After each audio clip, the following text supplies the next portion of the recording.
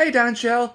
Mom tells me you were on Netflix, but you were coming across all the dumb crap that I was watching. I did set up a profile just for you guys, and I can show you right here how to get there. I know all the menus are different, but however you get to Netflix here, whether it's on your Apple or wherever, uh, click on Netflix, and the first thing it should do is take you here, where it says who's watching. There's Karen, which is all the dumb stuff I put on there. There's one for Scott, and there's one for Don and Shelly. If you just click on Don and Shelly, this is only your stuff, and it won't get bogged down with all the dumb other stuff.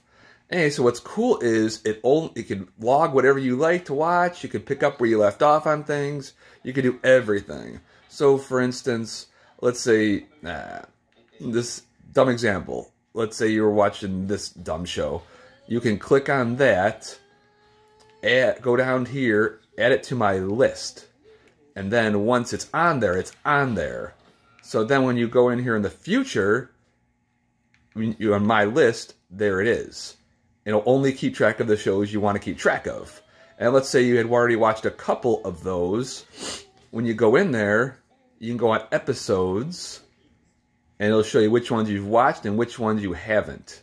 So that's really cool. So you could only watch the stuff you like and not be bogged down with all the dumb stuff you don't like. Hope this helps. Of course, anything I could do, give me a buzz anytime. Love you lots.